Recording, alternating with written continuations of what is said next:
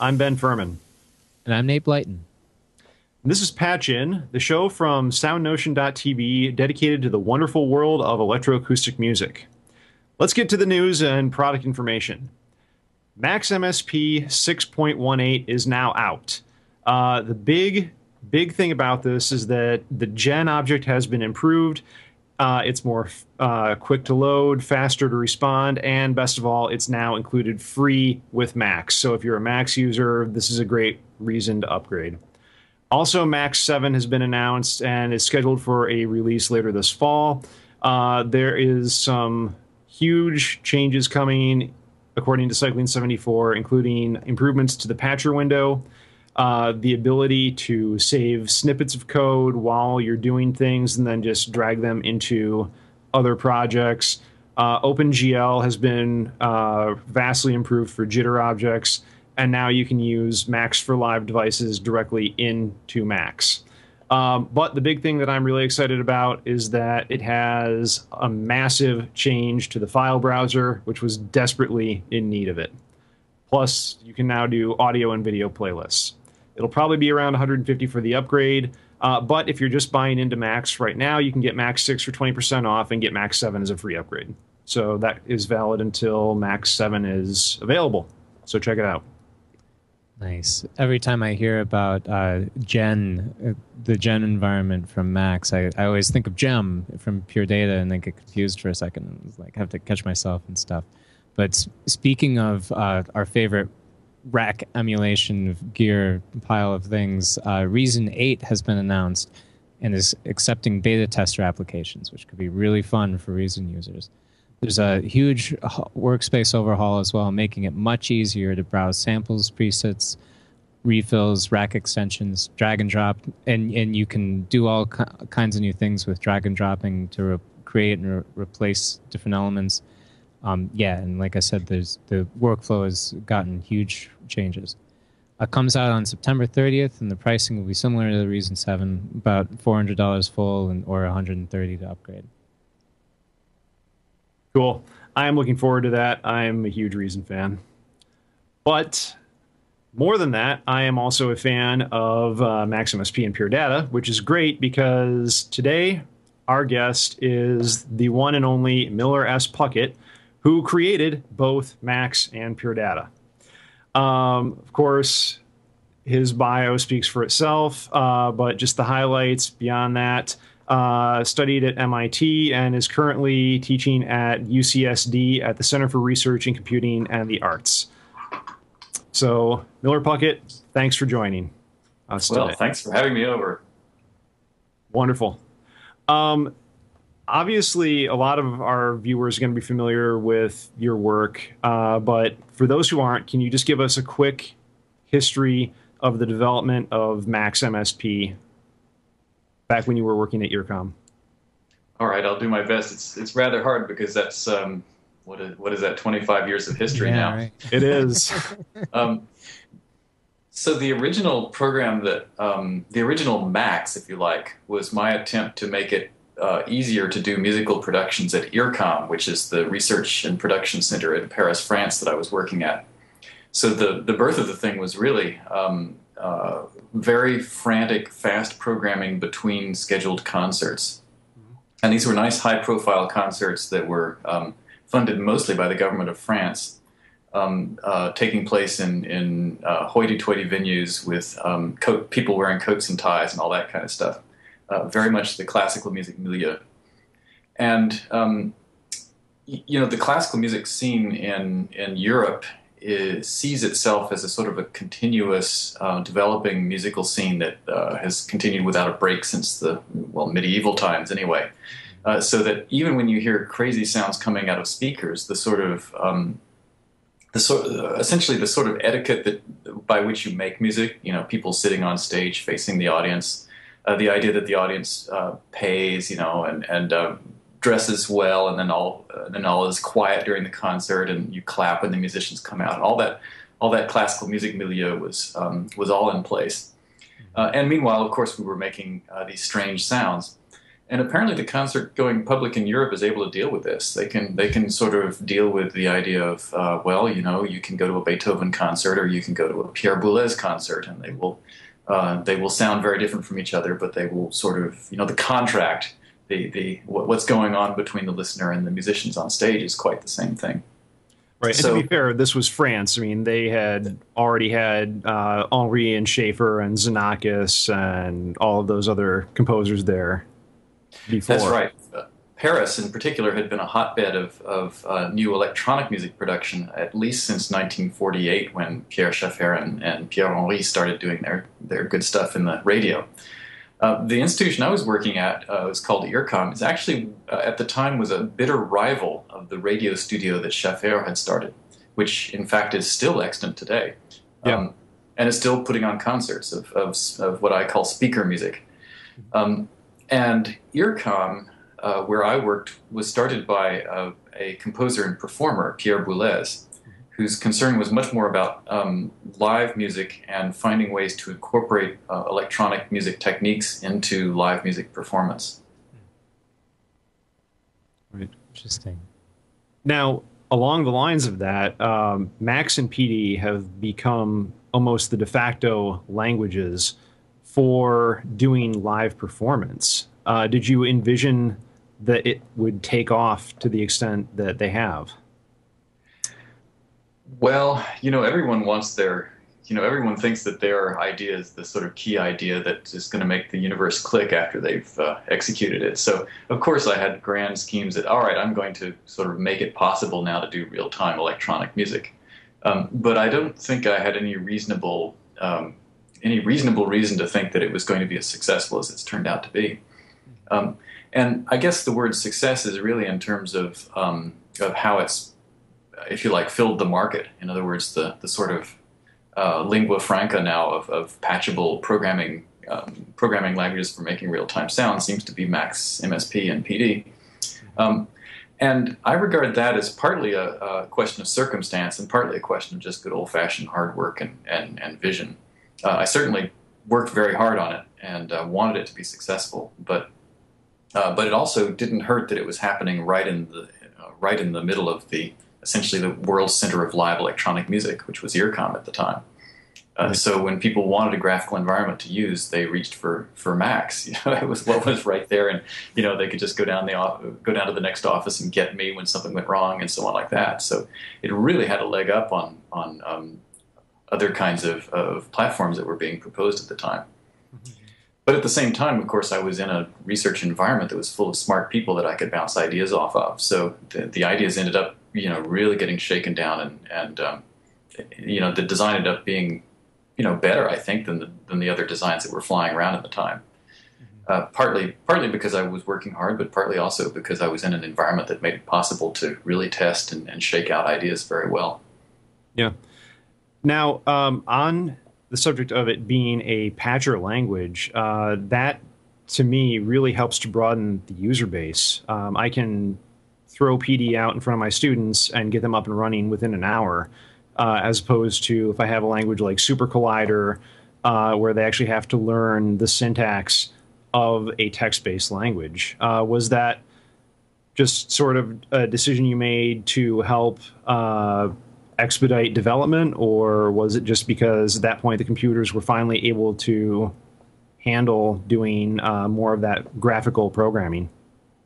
Well, both of those things were true. Um, in fact, uh, the first versions of Max that I was making available around IRCAM wasn't graphical at all. You actually had to use a text terminal. There weren't graphical terminals that were uh, that were in the production studios at the time, and so the only way that you could possibly describe networks was was by writing them out in text. Ooh. And um, people didn't like it too much. and furthermore, the the um, in in the original way that that it was working, you know, you would possibly have up to hundred objects in, in your in your patch, if I can call it a patch. I mean, the the the whatever you say, the the the concept of the thing was in fact um, an interconnected system of of things that talk to each other, even though you couldn't see it graphically. Right. But it really turned out that people needed to see the picture, uh, and um, and I guess in 1987 and 1988, uh, finally we got the first Macintoshes at, at. Mm-hmm. uh, which were machines that allowed you to do bitmapped uh, graphical programming, and with a you know a I believe a f- screen that was five inches on the diagonal, that um, you know the little tiny Oh, yeah. uh, workspace that you could work in. But finally, you could actually draw the picture that that I was having to draw on blackboards to show people what they were doing before. And um, well, it was it was immensely popular to just be able to draw the thing and see what was happening. it turned out to really make it useful in, in ways that um, in, in ways that it hadn't been before. And, And the, now, the existence of the graphical environment then changed the design pretty heavily because at that point it became possible to make much, much finer grained uh, patches. In other words, I was able to, to have more objects and have the objects themselves do much more simple elemental things than, than had been happening in the non graphical version.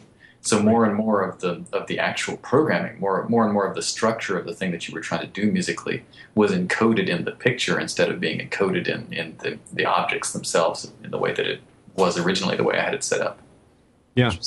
And I, I love looking at people's PD patches and getting like and the the quality of the programmer might you can you can see like how it functions just seeing how it's laid out and stuff. Um, Right, and you, you get some sense of what's important to people by looking at Yeah. what kinds of uh, things they put in patches and how they organize them and, uh, and so on like that. Like some people are very, very fussy and very hierarchical in the way they think. Other people are much more um, uh, much more egalitarian in, in the way they spread stuff around and, and, and make function happen in different places. Uh, And some people like their control panels to all be visible, so they make these huge front windows that have every possible control. And other I people like to 100% the guilty of that. they need for the show. You know, just those those you know master volume ins and outs, mm, and uh, everything else is is hidden away until something goes wrong, and then you go in and open it. yeah. I'm actually um, more uh, more in that camp. I like to see volume controls and VU meters and a couple of indications of where things are. Yeah, it's it's always a mix for me. Like I've got one of my pieces has just a big green button on the main thing, and then you click on a sub patch, and you and then you get the whole everything. The whole, uh, Yeah. And in pure data, especially, um, the graphics are not as um, efficient in runtime as they are in Max MSP. And Yeah. as a result, it's actually really a good idea to try to keep the graphics out of sight when you're not using them because you, because your uh, your machine will just run faster that way. Yeah, I found that uh, back in May when I did my first uh, PD patch for a uh, installation using a Raspberry Pi. That Oh, cool. I was able to get so much better audio quality and latency out of it just by running everything from the command line after I had already created and tested the patch on my laptop. Yeah, that's I'm sure right. most you of our nerd audience knows what, what Raspberry Pi is, Ben, but you might want to Yes. explain that just briefly. Um, well, funny you mention it. They just came out with a new model. Uh, it's the Raspberry Pi B 2.0 or something similar to that. I don't have the specs in front of me. Uh, it's a See, little I've got one. computer. Hang on a second. Yeah. It's about the size of a cell phone, 35 bucks, and it's capable of running a full Linux distro off of an SD card uh, with couple USB ports. You can add uh, any type of sensors to it through the uh, pins and use it to control installations or whatever else.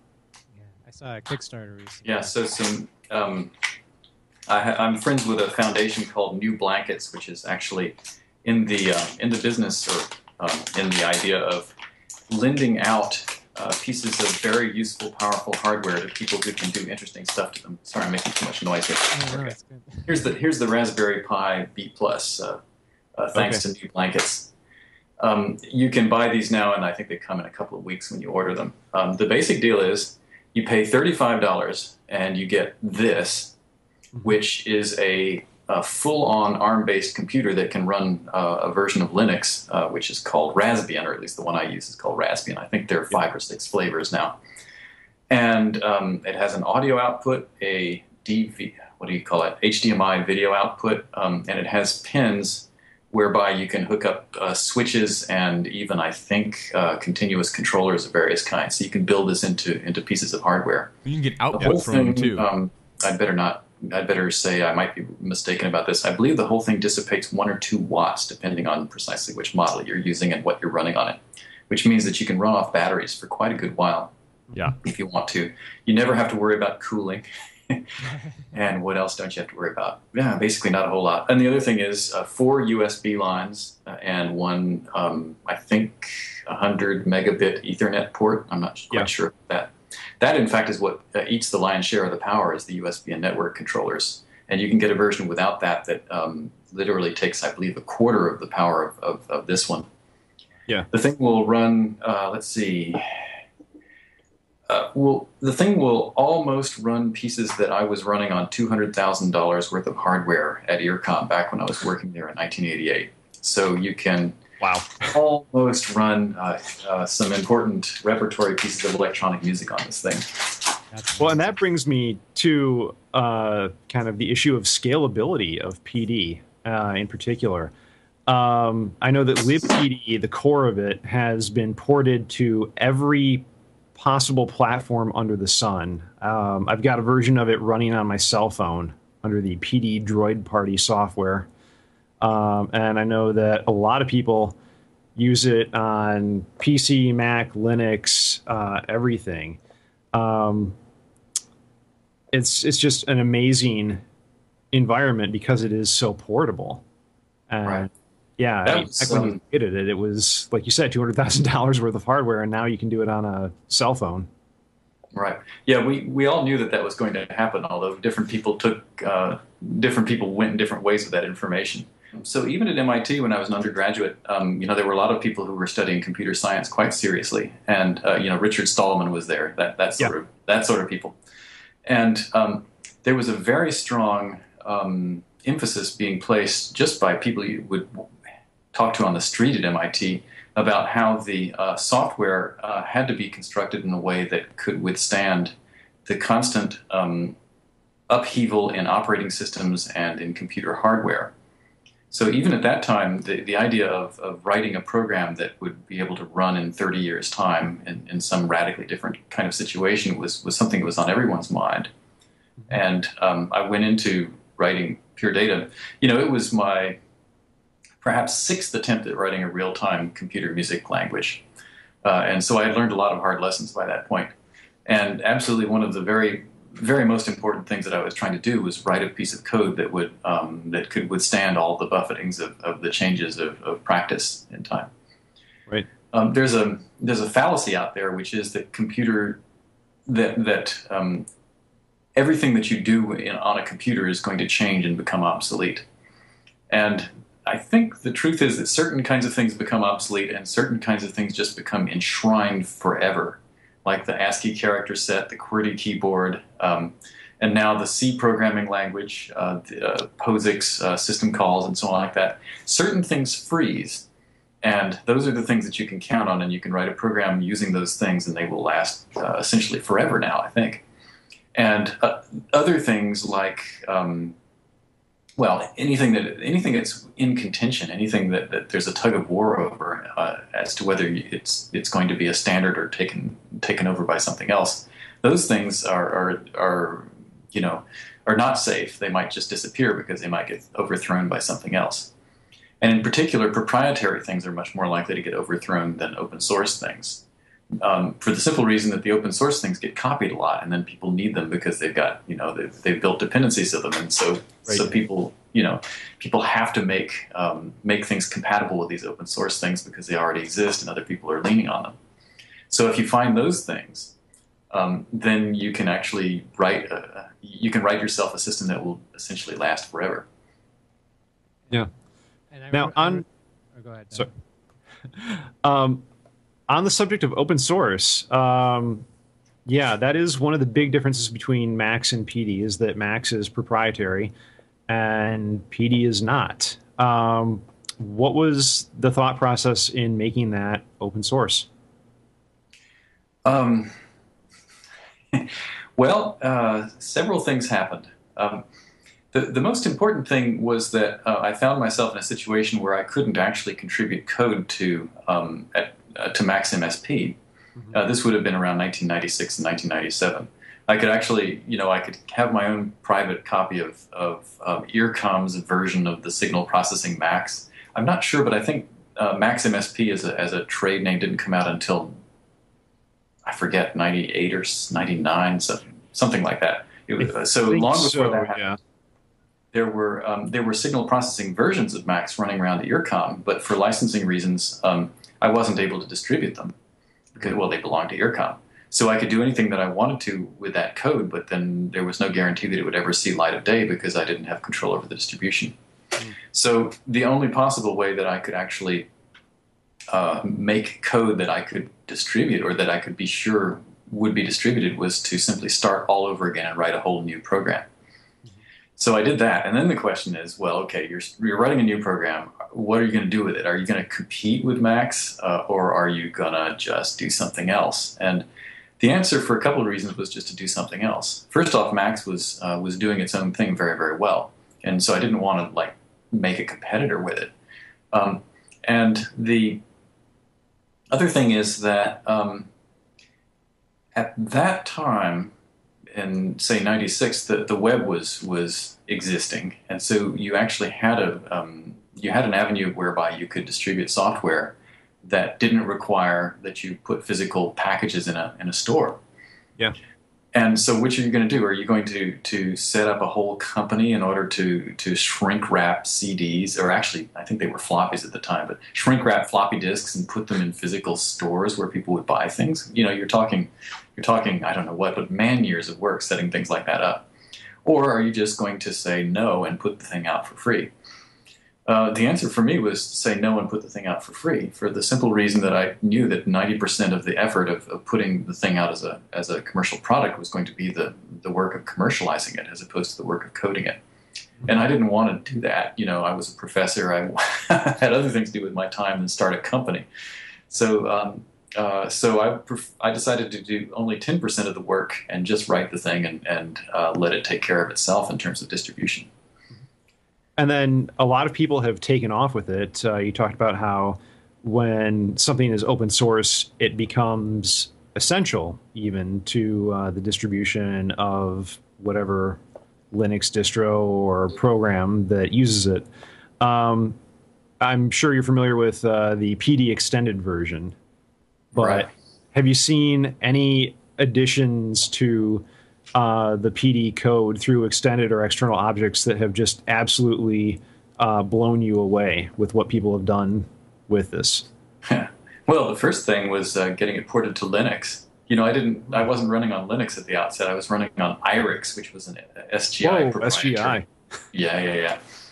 And uh, the second platform was Windows, which of course had horrible, you know, latency problems and all kinds of things like that. Oh, it still uh, does. And, uh, finally, some people in Graz, Austria, at the Institute for Electronic Music there, uh, headed up by Winfried Ritsch, um, made a PD port to Linux. They just downloaded the code, ported it to Linux, and then um, Winfried actually showed up here in California and said, "Hey, watch watch PD run on Linux." And it was um, this would have been, I don't know, '98 or something like that. Um, uh, it was unbelievable like the whole idea that you could actually get audio into and out of Linux uh, almost required um, almost required wizardry in and of itself. Like I spent a couple of years learning how to get audio reliably to go in and out of Linux boxes at that point. Yeah. The, now it's kind of easy, but in the day it was like, oh, you're going to do that, and and um, another amazing thing happened. Well, Jim, the uh, Mark Danks' graphical environment for multimedia, which used to be the graphical environment for Max, by the way. Gem, this is not very well known. Gem originally ran in Max on an SGI machine and uh, got ported over to PD because it was looking like that was going to be a better way to distribute it, which wow. which it turned out to be. Um, yeah, so uh, yeah, that was uh, that was something. I always knew that graphics was going to be important, but um, I didn't see how I was going to find time to learn how to, to make a whole graphics, uh, um, you know, input and output and, and subsystem for uh, for PD and there someone else just came in and did it. In fact, several people have done it in different ways, but Gem is the one that's the most widely used now. Yeah. I've, I've been trying to get in. I've spent a lot of time with Gem. Really soft, Nate. That, spent a lot of time in Gem and done different pieces with it, but um, I've been getting into GridFlow lately. Isn't it interesting? Oh yeah, GridFlow is a cool one. Yeah. And um, and I have a confession to make. Uh, I had to do some graphics coding, and it turned out to work out better for me to just talk directly to OpenGL. so I ended up um, I ended up making externs that just did my own OpenGL uh, path pathway without using Gem at all for various complicated reasons that I better not get into right now. well, when when you have those tools at your disposal, of, of really accessing the hardware that way, it's amazing. Um, yeah, you can do amazing things. I, uh, you you touched on something earlier with uh, um, talking about making software or computer based work that would last through the ages and things. And I I know I've I've done a little bit of research on your PD repertory project. Um, is is is that still going? What or is is that still a? oh gosh, yeah, it's the next thing on my do list after getting PD forty six out. Okay. I'm right now just in the middle of getting PD forty six out, and cool. I just hit another snag yesterday, so oh, oh, it's not quite ready to go. I can't figure out how to get uh, how to get it to. Um, I can't figure out how to get a single compile image of PD to work with or without Jack installed. Um, just, oh. just stupid. And and PD Extended does it, so uh, so I know there's a way to do it. I have to learn how PD Extended does it and imitate that. I think. Um, anyway, that's a snag. Um, uh, one hit snags. Anyway, after all those snags are done, then I'm going back and, and doing an overhaul, not an overhaul, but doing a rev on the PD repertory project. Mm-hmm. Um, it didn't turn out to be as um, it didn't turn out to be what I thought it was going to be at the outset. So my original plan was to um, accrete a real collection of, of a couple of dozen, maybe pieces of, of iconic electronic music mm-hmm. um, in in essentially realizable form.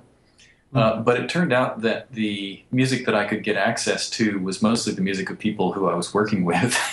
so it turns out to have a lot of stuff by Rand Steiger and, and Philippe Manoury and a little bit of stuff by Pierre Boulez. Uh, yeah. But it's not a um, but it's not a good representative collection of electronic music in um, um, in general at this point. So I think I need to find a different name for it. Well, I will also, shamelessly uh, donate all of my PD code to that project if yeah, you're right. interested in that.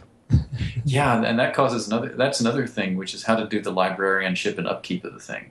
So it, it, seemed reasonable to do. Um, it seemed reasonable to do things that I could fit into a very specific mold. Um, you know, a very specific kind of patch template so that everything would look alike, so that I would sort of know how to start things up and, and know how to debug things when they went wrong but it, it, didn't work to turn it into a sort of open source project that, that would invite a whole bunch of other uh, other kinds of music or other kinds of ways of, of, realizing music because then I wouldn't be able to maintain it. So um, so really, it's not a PD repertory project at all. It's sort of my favorite PD pieces.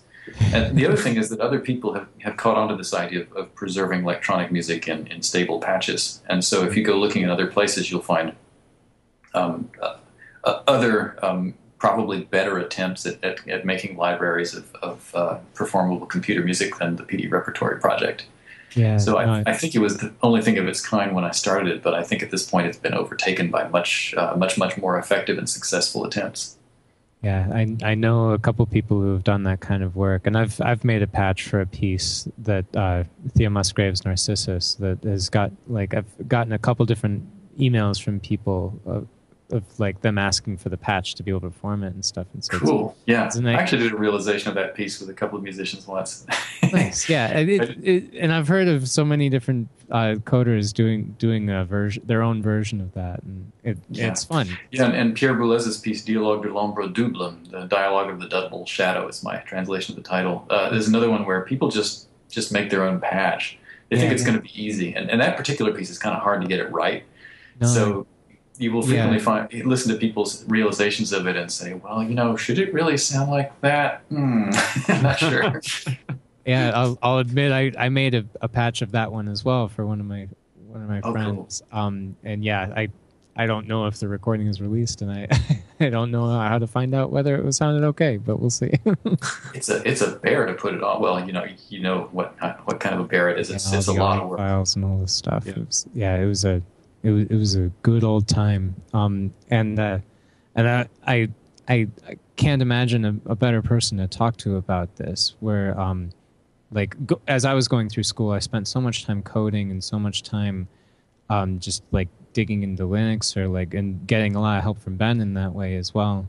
Um, and the balance between that and practicing viola and writing music and and uh, and spending time coding and learning things about math and different programming languages, it was it was always tricky for me to strike that balance. And um, I understand you that you've uh, you've spoken to this balance uh, in a number of different uh, lectures and different things like that. Um, I was wondering what, what your attitude was with that, or if uh, how how do you strike a balance between? I know you've got a PhD in mathematics while also being a, a computer music professor. What what's that all like for you? Well, the truth is, um, I think a lot about it, but I don't actually have any control over uh, over what happens to me in terms of, of, what I spend my time doing. Um, in a couple of respects, one is that I'm I'm always responding to external events. Um, so, so for instance, you know, Max was all about, uh, oh, well, we're going to premiere this uh, piece of piano music, and the premiere date is, you know, July, blah blah, 1988. So, what are you going to do about it? you know, and um, that's basically been what's happened to me, you know, since almost since I was a student at MIT. Um, I think and the other thing is that I don't have a whole lot of self control, so I end up just sort of doing whatever um, whatever gets stuck in my head as being the, the next thing that I'm fascinated by. And um, in some ways, that's a good strategy. So you know, I, I worked on you know I, I did pure mathematics for the first whatever 20 years of my life, you know, obsessively, mm-hmm. and did computer music, you know, did computer music coding obsessively for many many years, like decades. Um, I also get involved you know, in, in, music productions, although never really as the instigator of a music production. I'm not not one of these people who have, have an artistic vision that just has to out. You know, I I, um, I find projects that people are working on that seem cool and, and, and, and important and, and compelling to me, and then I join them.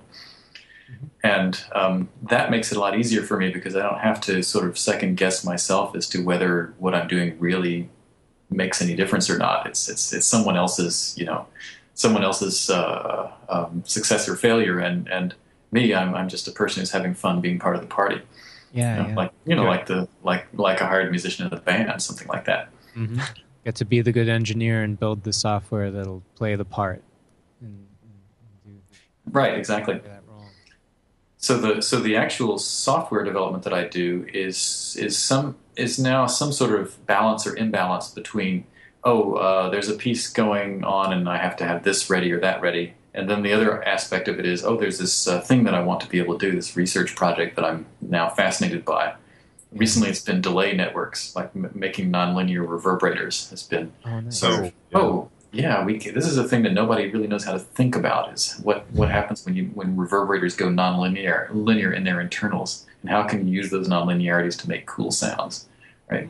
And so now, you know, I'm in a position where, okay, I'm trying to get this goddamn PD release out, but in fact, what my brain is doing is messing with matrices and and um, trying to think about what am I going to try next time I actually have some time to, to patch some sound.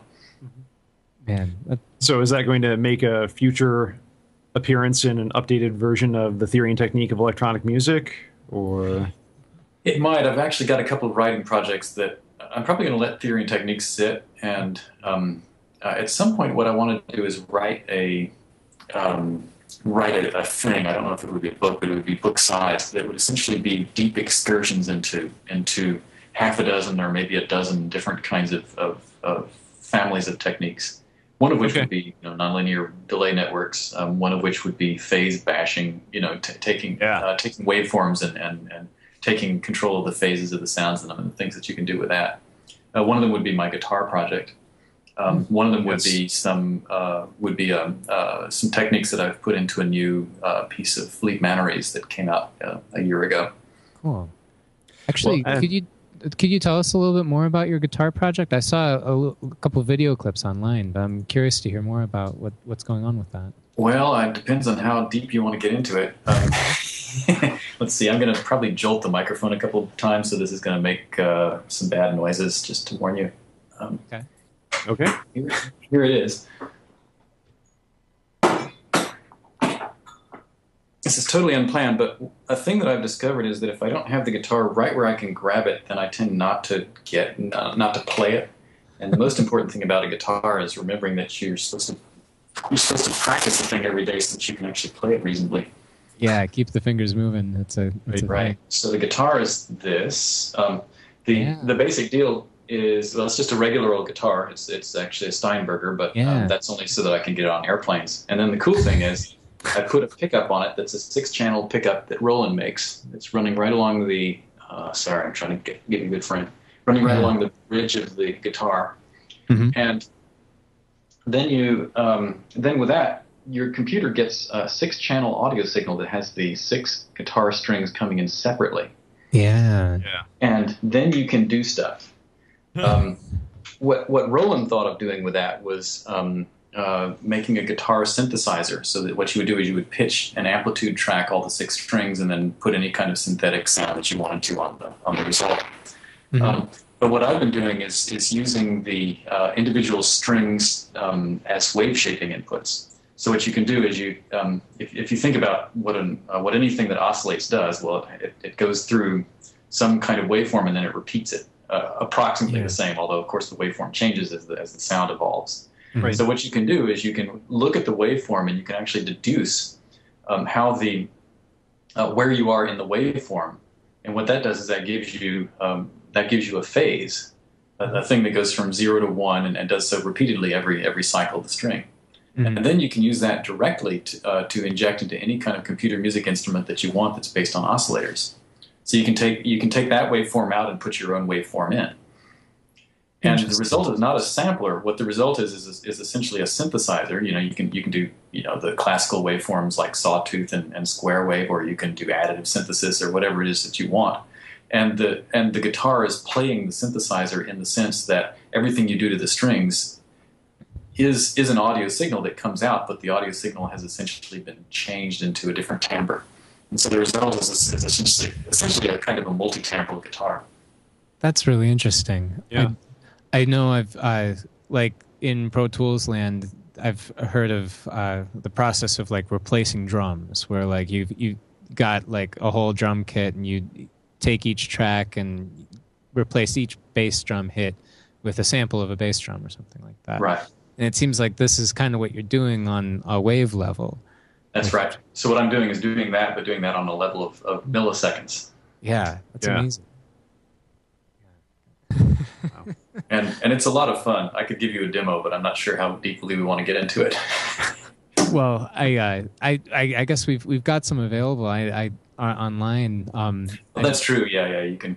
Um, but it's We'll yeah, have it's- links. it- yeah. Thank you for showing that. And that's uh, those Steinberger guitars are super cool as well. The yeah, yeah. They're lovely. No Yeah. stock and all this. Stuff. Well, and so are those Roland Variax pickups too. oh yeah, Yep. yeah. They're good. Oh, you got my patch. That's from that's from, that's Yeah. from Ableton's Twitter feed. Yes. Oh, it's come out. Wonderful. Okay, good. yeah.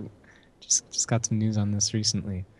Yeah, Yeah, I know um, I'm actually looking to see if, if the things that I do uh, actually show up on the web. I just assume that some of them will and some of them won't. Um, but yeah, I just did a did a demo for Ableton uh, of, of this about a month ago in Berlin. Yeah. And they did a two camera shoot and, and were very you know very careful about trying to record it well. So I think they um, you, you might get a pretty good representation of what it was. Oh, Yeah, I don't know if the video is out. This is just a photo they posted on Twitter. Ah, okay, So we'll we'll definitely link to that if it's available though. okay, yeah, yeah.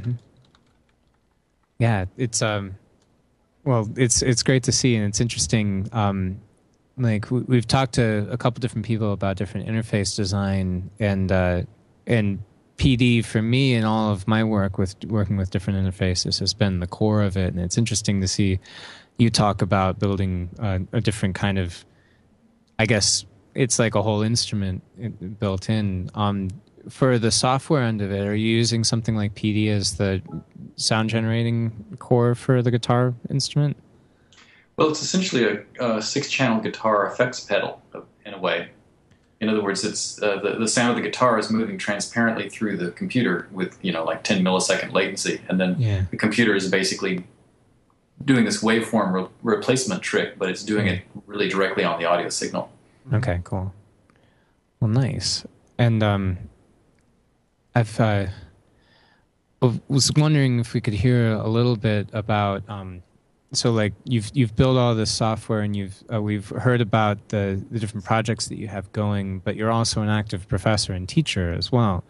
um, doing. And I've I've heard some good things about the your program, the Center for Research in Computing and the Arts. Could you tell us a little bit about what's going on in your program, or? I can, yeah, I can try to.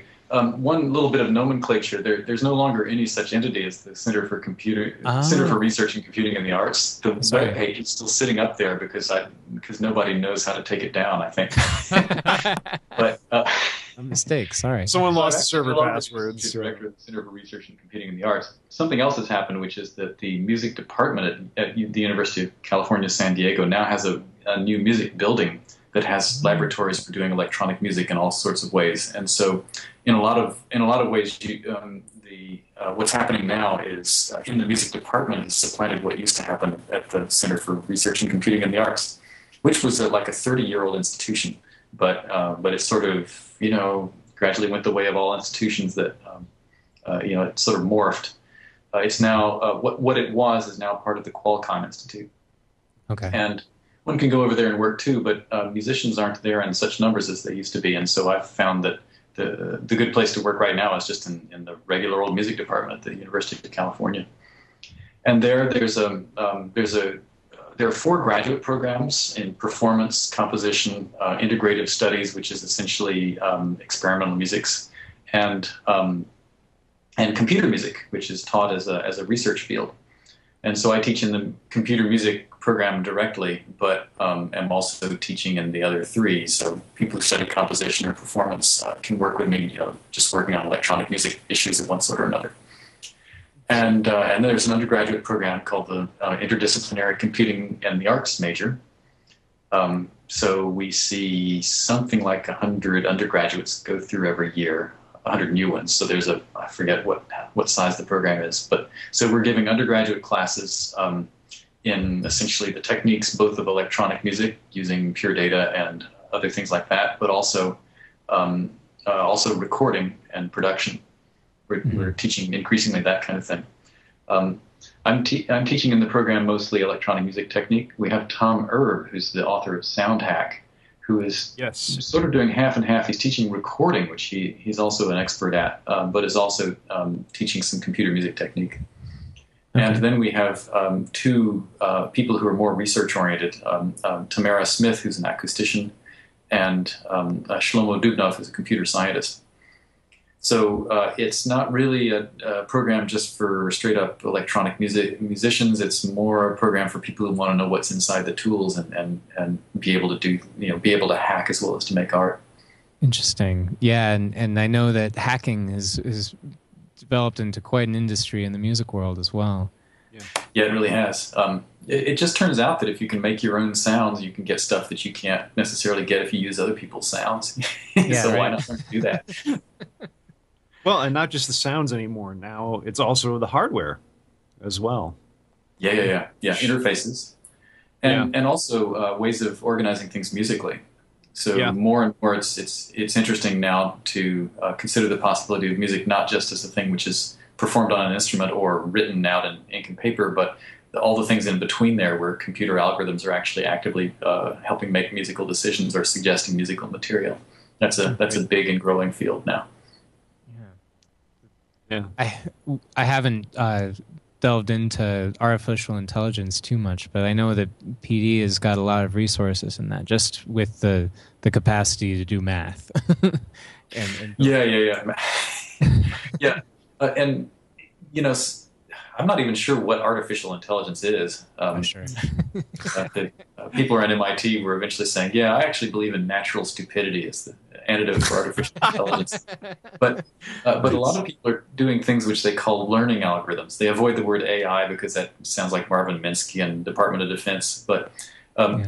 Things that can uh, try to organize incoming patterns into into groups and, and classify things that are happening in, uh, in order to sort of allow decision making to to follow in, in, in less in less push buttony but more sort of organic ways from what's happening in a live performance are starting to get important and interesting. Mhm. Right. And David Cope has been experimenting with that for years as well. Um, Many many years. Yeah. And then I remember um, at a symposium I was at, I want to say it was in Toronto, uh, they had a lot of people talking about similar things and using uh, Lua networks to create learning algorithms in uh, quite a few different programming languages. It was really interesting, but most of it, uh, the math just went so far over my head I couldn't follow half of the discussion.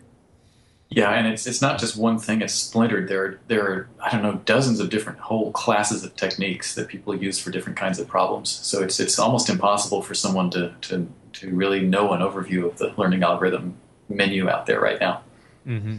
Yeah. Yeah, I, I was wondering, um, and kind of related to this, of like the, the new things that people are doing. I uh, if I had somebody that I could ask about who what what might be like an exciting new thing or like a new direction in computer music research or something, I, I can't think of a better person to ask than you.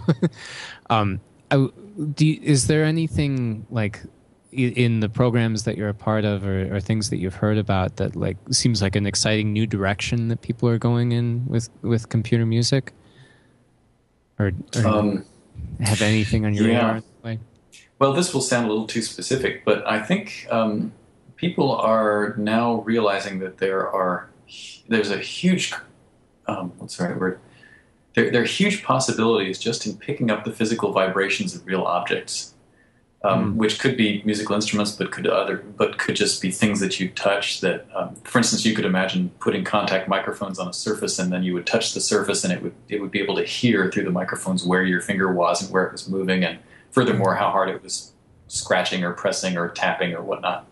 So the idea of making, if you like, making computer interfaces, but um, but essentially allowing computers to gather acoustical information um, in a spatially detailed way about how uh, physical objects, both both solids and, and the air, are vibrating. Mm-hmm. I think is a is a very uh, very cool research area right now.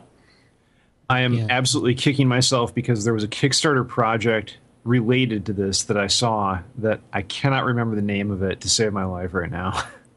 Yeah, I've, I've, seen at least one. Someone I think wants to make some sort of a mouse-like thing with a uh, with a flat pad, but I can't remember what it was or that was it.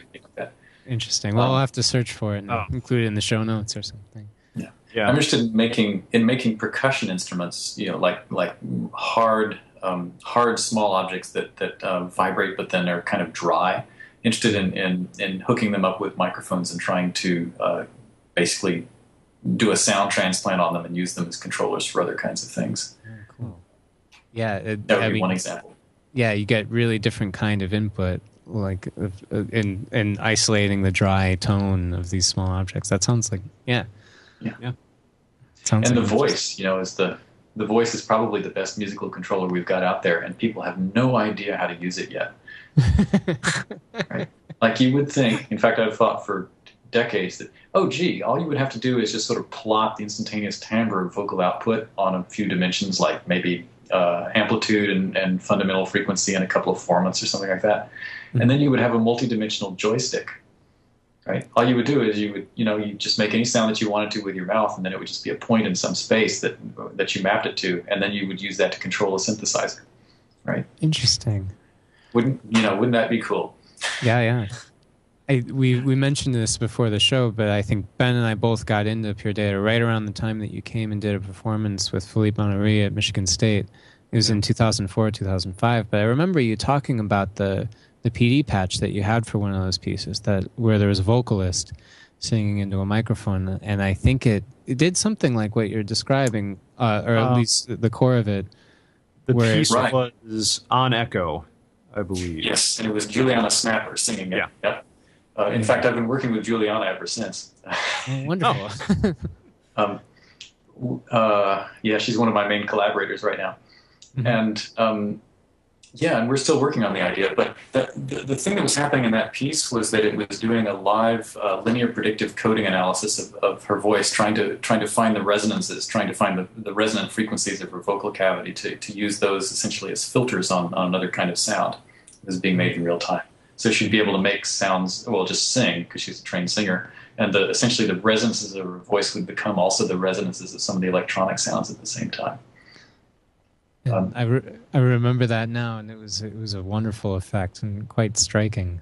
Um, yeah, so I, I guess uh, so it, it's exciting to hear that you're still working with her, and, uh, and it sounds like you've got um, a, a, bunch of different things going on. The, uh, what what are I guess do you do you have any other pieces coming up that you're working on or or different? well, yeah, the most recent thing was that she and I collaborated on a piece which we called Lipsity, which was for a full dome projection system here in San Diego. So we actually got into um, graphics. What we did was we took her lips and essentially blue screened them off of her face. Wow. She, she painted okay. her lips blue so that we could separate them uh, in color space. And then we had this essentially talking galaxy, pretending it was a cosmology show, but but with the, wow. the cosmos talking back to the announcer kind of thing.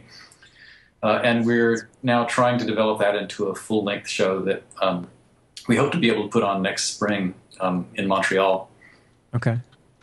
Um, but that's you know it's in the planning stages right now. Yeah, yeah. We'll we'll look forward to news about that. Um, yeah, I guess. Thank you so much for joining us and uh, and and going through this whole process. Ben, did you have anything else you wanted to add? Um, well, no, just uh, thanks for being on. And are there any future developments for PD that we should be on the lookout for? Ooh. Huh. Not to put you on the spot. yeah, right now I'm right now I'm in a in a situation where I think it's more important to um, it's most important to sort of deal with some long-standing things that don't work terribly well and get them working better. Mm. Um, this this particular release that I'm coming out with, maybe the most important thing is kind of stupid sounding, but it remembers devices by name instead of by number. So that when you plug or unplug oh. USB devices, it doesn't uh, forget which is which. Yeah. Yes, it's just it's stupid, but I mean that's that's, that's built sort of into my setup sort of every time. Yeah, yeah like that would yeah. yeah. And um, and I think the next year or two is going to be kind of usability issue level things like that. Interesting. Well, it's you've you've been doing such an honorable thing for the world of computer music, developing PD, and I know that Ben and I have both. Uh, uh, our so much of our work has been generated from your work, and so thank you, first of all, for that, and uh, and thanks for coming on the show. And uh, um, if you if if you have anything coming up, uh, I guess we'll we'll keep an eye out, and uh, we're gonna have everything that we talked about, little bits of it in the show notes um, as as we do it. But I believe we're we're brought to the end of our, our program and uh, our last segment. Every month we do this two minute challenge. And appropriately, yeah, I'm eager to hear about this. yeah. and appropriately, we have about two minutes left on the show. So, Nate, I believe you're up this month. What are you going to talk about? Well, I'm gonna. One time before, I believe I talked about uh, LFOs and different kinds of uses of oscillators and stuff. I'm gonna take another stab at another component of synthesizers, and I guess other things. But this one's going to be all about envelope generators. You ready for this?